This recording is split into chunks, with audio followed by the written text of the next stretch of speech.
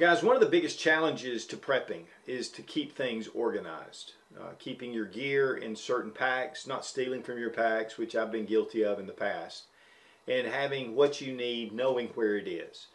Uh, we're going to take a look at a couple of pouches today, and these are new from Roaring Fire Gear. This is the Smolder.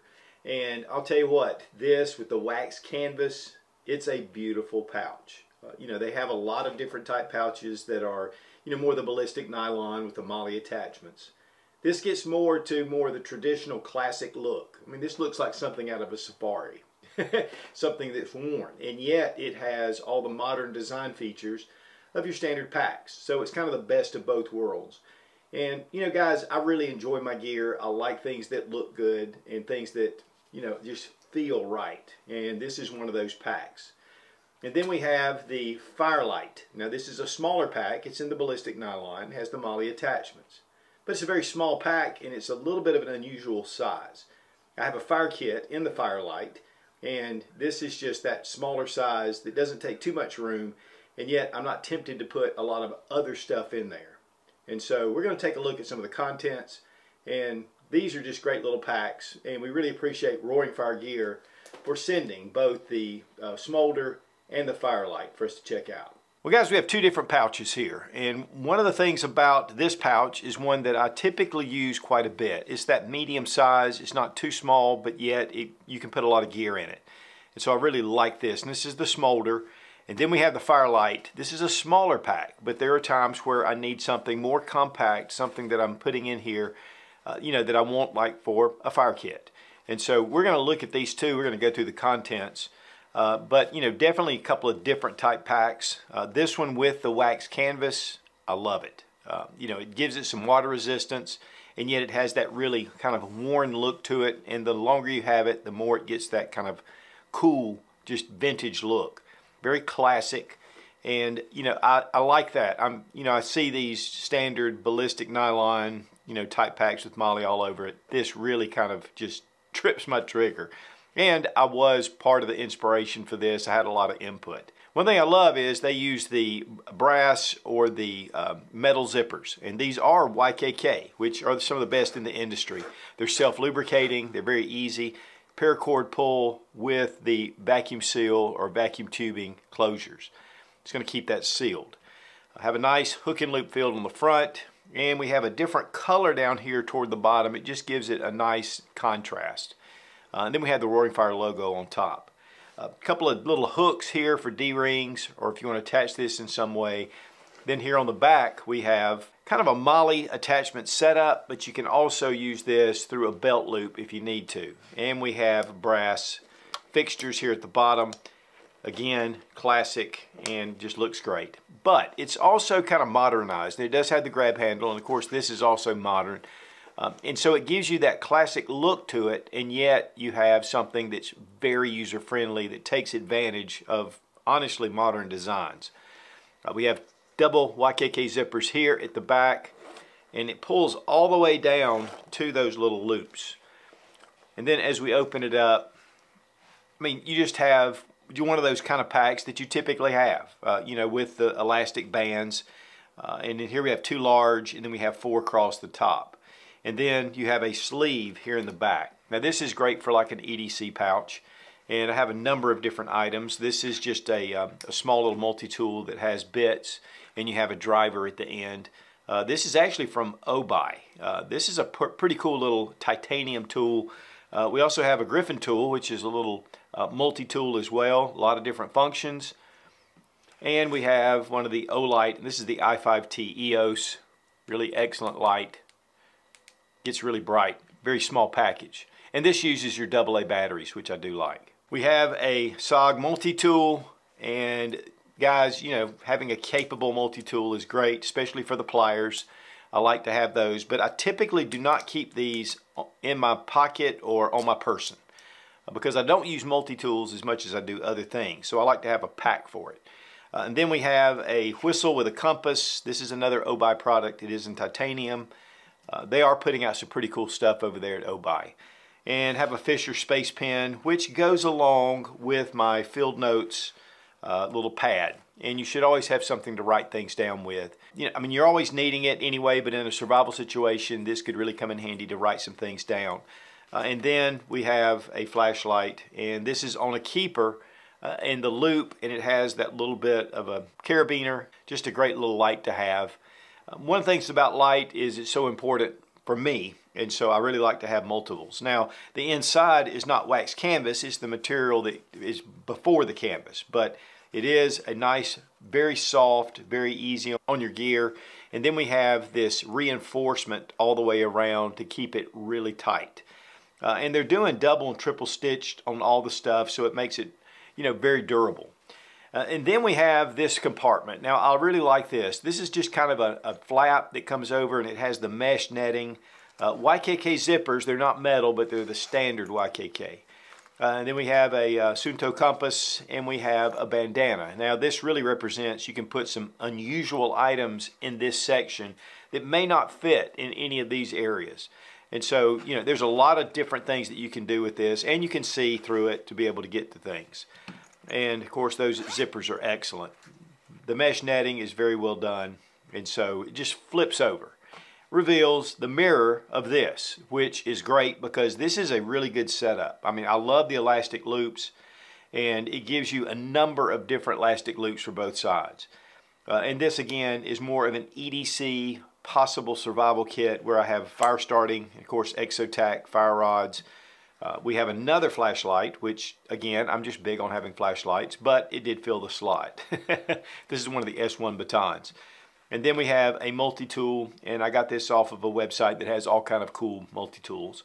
Uh, it does have a driver, and you do have a bit.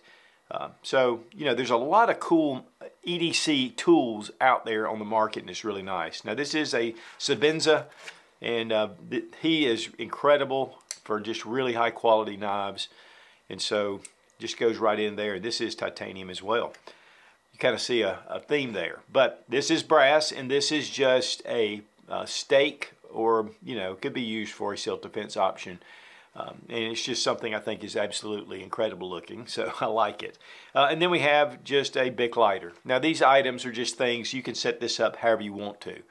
And it gives you a lot of capability. Uh, here in the back, just have some cotton balls and Vaseline great for fire starting uh, and of course to go with my other fire starting uh, tools which I highly recommend always having fire starting tools uh, with your EDC stuff because it just gives you the capability to start a fire and fire is so important in a survival situation. So you can see that I've got a ton of stuff here and it all fits in here very nicely.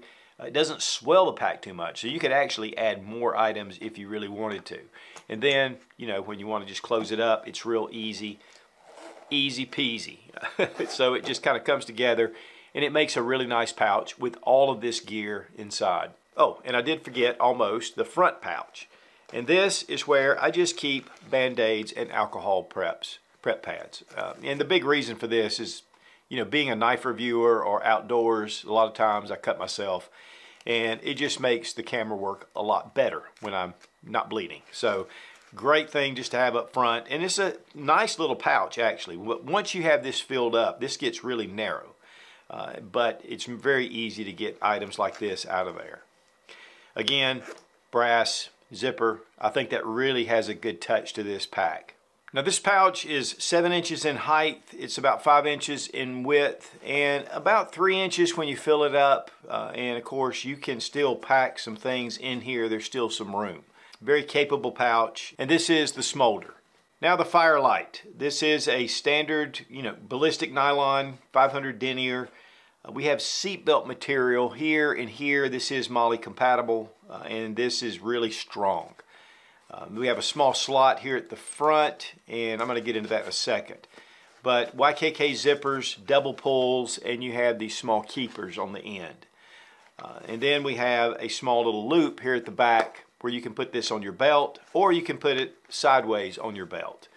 So it just gives you some options. Uh, what I really like about this is that it's small and I can put my fire kit in here. I don't have to have a big huge uh, whole setup.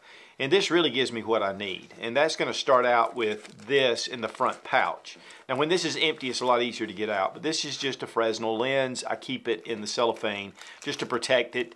Great fire starting capability, especially in the sun. And it's free and it never runs out of fuel, hopefully. but then we have these double pulls. It comes down about three quarters of the way. And then we open it up and I've got my fire kit contents in here. Uh, so another fire rod from Exotac. These are excellent. Um, I have a knife, which I like to keep a knife in my fire kits. One that has enough carbon to strike this rod. This is one of the O-Knife splints. Uh, and it's just an excellent knife. They have ceramic ball bearings. I like the orange color because I don't want to lose the knife. And so I put this with my fire kits. But still capable to be used for regular task. Uh, I have some tinder tabs in here which you know are great for fire starting. Of course the easiest way to start a fire is your Bic lighter. Uh, the problem is is this wheel can get corroded and it can be difficult or your fuel can run out. So while this is the way I create fire most of the time, I love to have other fire options. Uh, and I've got many. Uh, this is one of the uh, Exotac candle tins. It's a four hour candle. And also with Exotac, you get 20% off using Sootch20 with the link down below in the description. One thing I will show you too is that this little capsule, not only does it look really cool, but it opens up to a compartment and you have a tinder tab right here. And so you've always got fire capability or tinder. And then these rods actually are replaceable. So big shout out to Exotac because they're just excellent. Uh, and then we have one of the Exotac Nano Sparks. This just creates a spark to get, get it started. And it's a very simple but yet very effective. And inside we have another tinder tab. And you can start the fire with that spark on your tinder tab. Uh, replace the flint. There's a lot of cool things you can do with this. Now we also have some uh, waterproof matches and these are actually like lifeboat matches. You can see with the orange tip and I bought these at Home Depot. They had a whole case of them. It was over with the um, fireplaces or heat sources. And I was kind of surprised to find them. And they were a lot more reasonable than you can find in other places. And so in here, also we have a zippered compartment. And then I have some fat wood. And fat wood's great to get fire started. This will burn a little bit longer, but it's really excellent.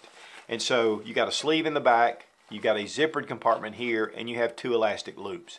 It's simple, but yet you've got a lot of capability and everything is compact. And the cool thing is this is my fire kit and it's in the Firelite. So, you know, and I like having them in these, again, these little bit smaller pouches.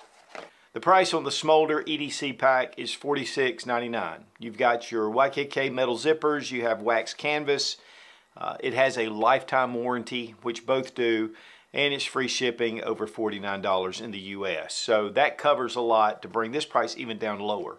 And you get a 10% discount using RF10 when you go to the Roaring Fire Gear website. Uh, same goes here uh, with the Firelite, but this is $16.99. So a very small pack and yet very capable. And again, uh, I have fire kits, I have EDC items. You can do whatever setup that you have. And two, to go along with the smolder, they do have the Pioneer mini tool rolls, and these are wax canvas as well. Uh, and we've shown these a number of times. I'm a big fan of tool rolls. The big thing is, is you can lay these out and you have everything right there in front of you. And so I like tool rolls, but I also like this type pouch for the items that are in it. And guys, this isn't an affiliate. I do some stuff with Roaring Fire Gear just to kind of help them out. And my buddy NC Hill works there. So I'm not making anything on these. I just like their products. Guys, again, organization is huge. And, you know, having the right size packs can really make the difference. It can keep things together. And with the Smolder, I mean, this gives you a lot of capabilities, but yet it has that great classic look to it. I mean, I love this. The wax canvas the design, and yet it's a very modern design pack, has features where you can use it even with today's standards. And then you can go maybe with the Firelite, which goes more toward that tactical side, and yet it's smaller and it's very capable, and yet just great for a little fire kit or for smaller items. And you're not tempted to pile a bunch of other stuff in here. So check out Roaring Fire Gear. Again, you get a lifetime warranty and you get free shipping over $49 and we really appreciate Roaring Fire Gear for sending these packs. I'm going to tell you, this one, I love this pack. Of course, I had a lot to do with it, but I still love it. Guys, when it comes to fire, it is essential to survival, and having a good fire kit and knowing how to use it is vital for survival situations. And Exotac makes the best fire starters on the market. Made in the USA down in Winder, Georgia, using really high grade aluminum, they machine some really beautiful handles, a lot of different features, replaceable ferro rods, and a number of other different fire starting tools. You get 20% off using Sootch20 with the link down below in the description. And a big thank you to Exotac for sponsoring today's video. Be strong, be of good courage. God bless America. Long live the Republic.